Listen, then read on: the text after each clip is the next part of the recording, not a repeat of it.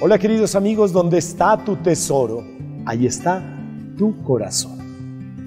Y si tu tesoro es Cristo el autor de tu vida, tu rostro mostrará la sonrisa del cielo. Sí. Queridos hermanos, soy el Padre Chucho desde el Santuario de la Divina Misericordia aquí en Bogotá, Colombia, y quiero invitarlos para que meditemos en esta palabra de Dios, en esta palabra del Señor. Si el autor de tu vida es Cristo, de verdad tu rostro cambiará. Dios cambia la suerte. Dios puede cambiar hoy tu suerte. Cuando Dios liberó a su pueblo y si tú te dejas liberar hoy de las esclavitudes que te dejan agobiado y sin fuerzas, tu boca se llenará de risas y tus labios de cantares. El pueblo de Israel estuvo en esclavitud con el faraón en Egipto, con Ramsés, después con los asirios, después con Nabucodonosor. Baltasar se burlaba de Dios, se burlaba del Señor. Y apareció cuando Baltasar en el templo se burlaba, como hoy muchos del mundo, príncipes del mundo, pisotean a los hombres de Dios. Baltasar se estaba burlando y pisoteando lo de Dios cuando una mano escribió en la pared, ¿se acuerdan? Menete, Kel. Y no sabía que estaba esa mano que estaba escribiendo ahí, él estaba en el templo de Jerusalén burlándose de Dios cuando la mano escribió. Y nadie sabía, entonces tuvo que llamar al joven Daniel, el profeta Daniel, en el capítulo 5 del libro de Daniel, léanlo.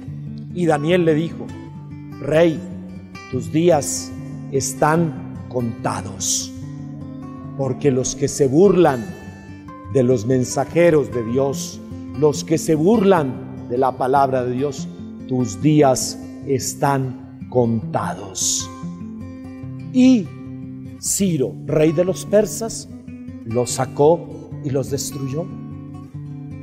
Cuando el pueblo estaba en Egipto, Dios venció al faraón que no lo vencía nadie.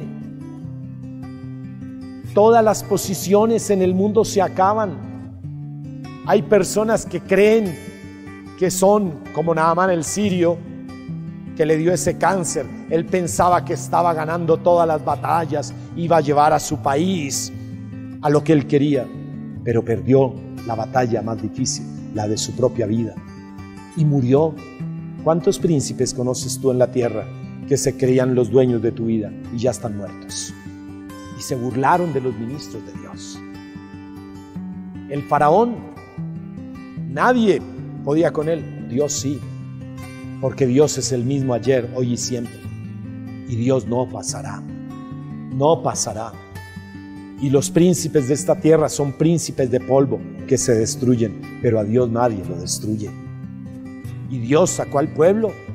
Y Moisés iba con el pueblo. Y el faraón venía detrás de Moisés. Y de pronto Moisés se encuentra con el mar. Y Moisés empieza, porque ustedes saben que Moisés tenía dificultad al hablar. Se, se, se, señor, ayúdame. Y Dios le dijo, ya, ya, ya. No es tiempo, ya Moisés, cállate. Ahorita no es tiempo de que te pongas a hablar mucho porque el faraón viene detrás. Hay momentos en los que tienes que actuar y tienes que tomar una decisión. Y entonces el Señor le dijo, usa lo que te di. Y Moisés, ¿qué, qué, qué, qué me diste? Utiliza lo que te di. Utiliza lo que Dios te dio. ¿Y qué te dio Dios? Y Moisés cogió el bastón y con ese bastón tocó las aguas y se abrieron los mares. Las posiciones del mundo se acaban, pero el Dios, nuestro Rey del cielo, no se acabará nunca. No te preocupes dónde estás. No te preocupes si, si alguien, ay, es que mi vecino tiene carro y yo no tengo carro. Tú tienes al Rey del cielo que está sentado en el trono de gloria. ¿De qué te preocupas? Hermanos, recordemos y llevemos esta palabra a nuestro corazón. Muchos en el mundo pueden creerse dueños de tu vida y muchos pueden creerse que están gobernando el mundo, poderosos en el mundo. Ese no es el problema. ¿Sabes cuál es el problema? ¿A quién le diste tú el poder? ¿A quién le diste tú la autoría para tu vida? ¿Quién es el autor de tu vida? Si el autor de tu vida es Cristo, no tienes nada de qué preocuparte porque el cielo derramará todas las bendiciones sobre tu familia y sobre tu vida. Recuerda, ¿dónde está tu tesoro? Ahí está tu corazón.